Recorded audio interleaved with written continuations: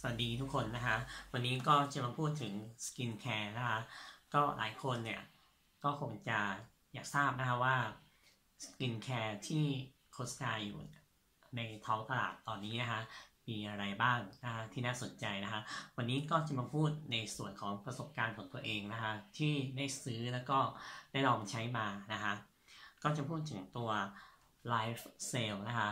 ตัวนี้นะคะตัวครีมตัวนี้นะคะ ถ้าสมมติว่าใครเนี่ยที่ท่องอินเทอร์เน็ตนะฮะมันก็อาจจะแบบ pop up ขึ้นมาให้เห็นนะฮะส่วนตัวแล้วก็ซื้อมาด้วยความบังเอิญนะคะเพราะว่าเห็นว่ามันมี pop up ขึ้นมานะคะแล้วก็ลองสั่งมาใช้ดูนะคะแล้วก็บวกกับมีแพทย์ผู้เชี่ยวชาญนะคะแพทย์ชื่อดังนะคะของอเมริกาเนี่ยเขาก็พูดถึงครีมตัวนี้นะคะว่ามันมีประสิทธิภาพยังไงนะคะแล้วก็ คนที่มีชื่อเสียงหลายคนนะคะก็เป็นพรีเซนเตอร์นะคะแล้วก็ไม่เชิงว่าพรีเซนเตอร์นะคะคล้ายๆว่า represent แบรนด์นี้นะคะแล้วก็บอกว่ามันโอเคนะคะก็เลยลองสั่งมาใช้ดูนะคะสั่งมาใช้ก็เวลาที่ใช้นะคะก็ปริมาณของครีมนี้นะคะก็อยู่ที่ 75 ml นะคะก็ใช้ทั้งหมดเนี่ย หนึ่งปีนะคะ มันอาจจะไม่ไม่ได้ใช้นานขนาดนั้นนะครับ เพียงแต่ว่าที่ใช้นานเพียงเพราะว่า ใช้แล้วมันไม่โอเค ก็เลย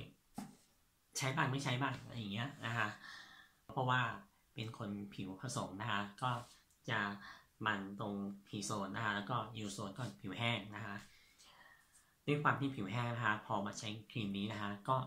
ยิ่งทำให้ผิวเนี่ยแห้ง นะคะแล้วก็เวลามันแอบสอบไปในผิวนะคะมันก็ไม่ทำให้ผิวเนี่ยชุ่มชื้นนะคะตื่นขึ้นมานะคะผิวก็ยังแห้งแล้วก็ รู้สึกว่า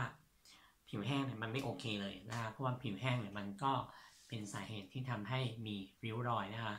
อันนี้เขาเคลมว่ามันโอเคนะคะ all in one นะคะ anti aging นะคะ treatment นะคะเขาก็บอกว่ามันช่วยในเรื่องของริ้วรอยนะคะแล้วก็ยกกระชับผิวนะคะ แล้วก็ช่วยผิวเนี่ยชุ่มชื้นนะคะ24ชั่วโมงนะคะแล้วก็ ในเรื่องของไอริดนะคะก็ช่วยด้วยนะคะแล้วก็ anti oxidant อะไรพวกนี้นะคะก็ลอง search ดูนะคะว่ามันช่วยอะไรได้บ้างนะคะเวลาซื้อมานะคะเวลาสั่งมาเนี่ยเขาก็จะมีกล่องมาให้กล่องหนึ่งนะคะส่งมาที่บ้านนะคะ ขออนุญาตเบลอนะคะกล่องแบบนี้นะคะ ส่งมานะคะแล้วก็ถ้า Open กล่องก็จะเป็นแบบนี้นะคะ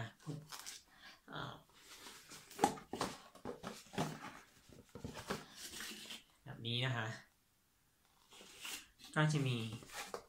invoice นะคะให้มาด้วยนะคะ อันนี้ก็คือกล่องของตัว product นะคะ เอ๊ะ ถูกไหมถูกไหมเออ แบบนี้นะคะแล้วก็อันนี้เขาแบบ เหมือนเขาให้มาเป็นคล้ายๆว่าเป็นโลโก้ของเขาที่แบบ cover อันกล่องนี้นะคะตัว box นะะก็จะมีตัวคู่มือการใช้งานนะคะ ก็จะบอกบอกก็พูดถึงประวัตินะคะของคุณหมอหลายอย่างนะคะ ที่เขาสรรเสริญนะคะ ใน product ของเขานะคะ ส่วนตัวแล้วนะคะ หลังจากที่ใช้มาแล้วนะคะ ก็ไม่รู้สึกว่ามันโอเคขึ้นนะคะ แล้วก็คิดว่าไม่คอนติเนียนะคะ ไม่ซื้อมาใช้อีกนะคะ คิดว่าคงไม่กลับไปใช้แบรนด์นี้นะคะ แล้วก็คงไม่ซื้อต่อซื้ออีก ว่าซื้อมาใช้อีกนะคะ แล้วก็สำหรับใครที่ โอเค ชอบนะคะ อยากจะลองใช้ดูนะคะ หรือไม่ก็สำหรับใครที่ใช้แล้วโอเค อันนั้นก็ขอแสดงความยินดีด้วยนะคะแต่ว่าส่วนตัวเราใช้แล้วก็ไม่โอเคนะคะแล้วก็ไม่ประทับใจนะคะแล้วก็รู้สึกว่าไม่ first impression เลยนะคะแล้วก็อ๋อเหตุผลที่มารีวิวนะคะก็เห็นว่ามัน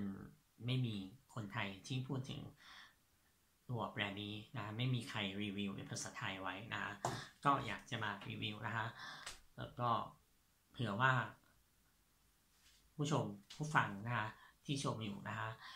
ได้ใช้เป็นข้อมูลในการตัดสินใจในการซื้อ